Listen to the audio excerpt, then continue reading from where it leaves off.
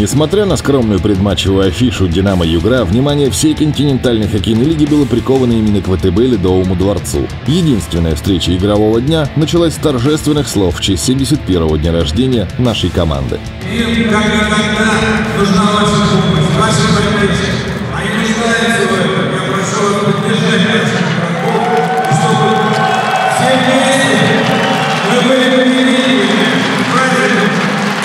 Александр Стеблин знает, как важна поддержка болельщиков. 90-е годы были непростые для всей страны, но хоккейная команда, которую он руководил, тогда смогла превратить их для себя в золотую эпоху. В матче с Югрой наша команда смотрелась уверенно. Особое внимание уделили обороне. Иван Бочаров за 60 минут отразил всего 16 бросков. Правда, при этом еще 18 заблокировали полевые игроки. А вот в атаке смотрелись довольно сдержанно. Поворотом Александр Широченкова бросали регулярно, но реальных моментов в первой половине игры было немного. Кстати, в первом перерыве была организована выдача подарков победителям конкурса репостов. Их было ровно 71. Большая часть получила сувенирную продукцию от московского «Динамо», вручал которую нападающий нашей команды Мартин Карсумс. А вот трое лучших были приглашены на лед, где наш форвард вручил им динамовские джерси с автографами игроков нужно быть ближе к команде. Кто как не болельщики, если нас много, если э, мы, мы сила на самом деле, мы их толкаем вперед, мы их, мы их поддерживаем всегда, даже в тяжелые моменты.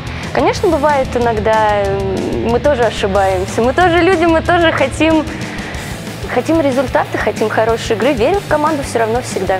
Я очень доволен подарком, столько автографов, я вообще не думаю, что я там попаду на это место. Дум, думал, вообще просто два билета и все, но я вышел на лед, мне очень сильно понравилось это.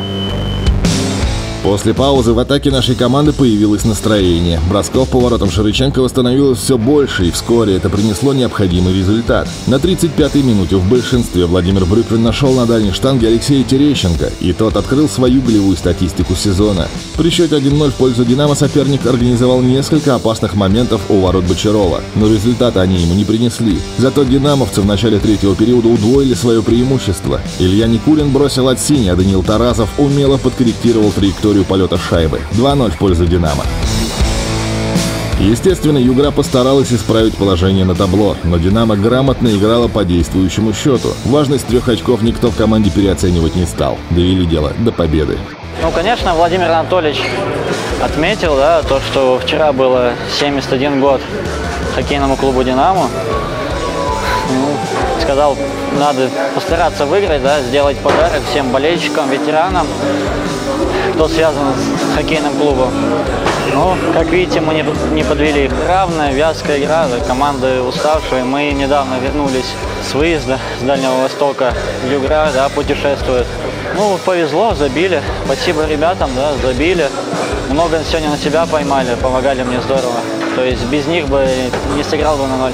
2-0. «Динамо» обыгрывает Югру, и это четвертая победа подряд. Для остановки нет причин. Отправляемся в Подольск, где 25 ноября сыграем против «Витязя».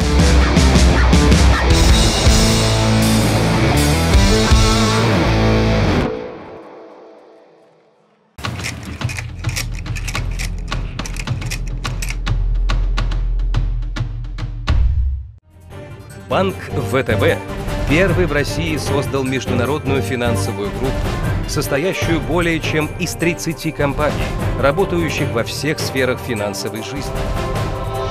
Внимательное и профессиональное отношение к каждому клиенту, грамотное и эффективное управление финансами являются залогом успеха работы группы ВТБ.